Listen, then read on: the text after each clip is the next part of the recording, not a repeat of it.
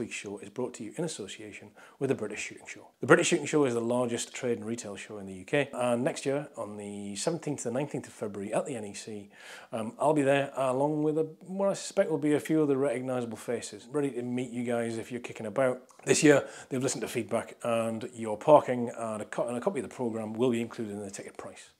Keep your eyes peeled because I'll be doing a competition to give away some tickets later in the year. Hey guys, I was out testing today with two very different guns and it gave me an idea for a video uh, to answer a question which I get asked reasonably often, um, which is what's the difference between a, a game gun and a sporter?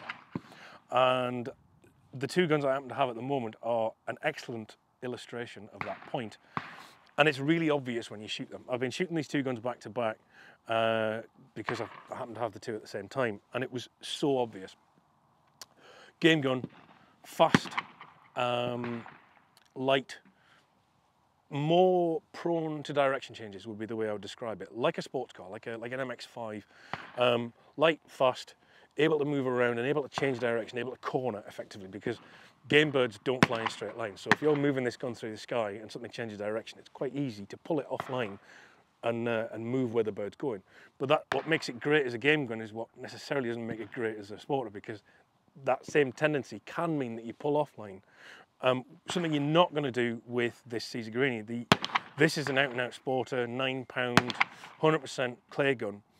Uh, much more deliberate, different balance, much heavier, much more linear in the swing. When you move this thing, it doesn't want to change direction. It wants to keep going in the direction you pushed it in.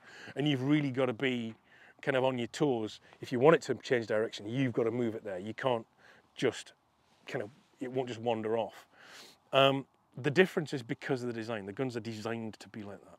If you look at them, the MK11 um, game gun, we've got solid top and mid rib, 8 mil uh, top rib with a, with a brass front bead, um, very slim, uh, nice sort of English sport of fore end, slim pistol grip, uh, more rake than uh, this on the CG, no palm swell.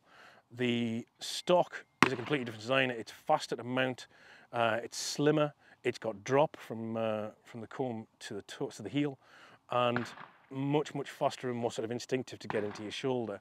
Um, thinner profile, sort of easy to get in behind and easy to shoot. Um, a really nice gun to shoot, actually, surprisingly versatile. It actually does well at clays. Um, coming on to the CG, completely different design. Like two pound heavier.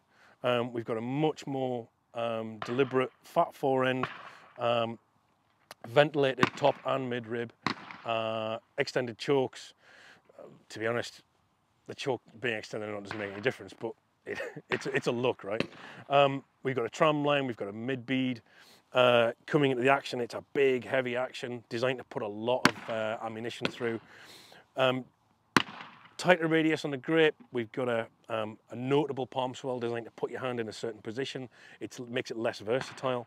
We've got a, a Monte Carlo with a, an adjustable comb on this gun, thicker in terms of the actual profile of it.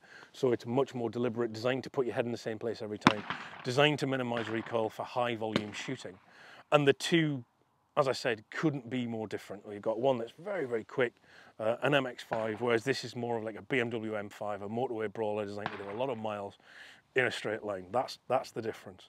And that's really the decision that you've got to make. If you're looking at buying your first gun or indeed your second gun, or you're just looking to change guns and you wanted to pick between a, a game gun and a sporter, you've got to really work out what your percentage of shooting is. If you're doing more game type shooting, something like this MK11 will be ideal. But if you're doing more sporting shooting, um, you might be intended to go, sorry, uh, more clay shooting, you'd be more inclined to go for more of a, a clay gun. There are, there are guns definitely that bridge that gap, and there are some guns that, that are quite happy doing both. Um, but this, this CG is 100%, this is a, this is a clay gun, out and out. Um, something for you to bear in mind when you're making decisions in the future. Um, I hope you've enjoyed it. If you have any comments or questions, leave them for me in the comments below.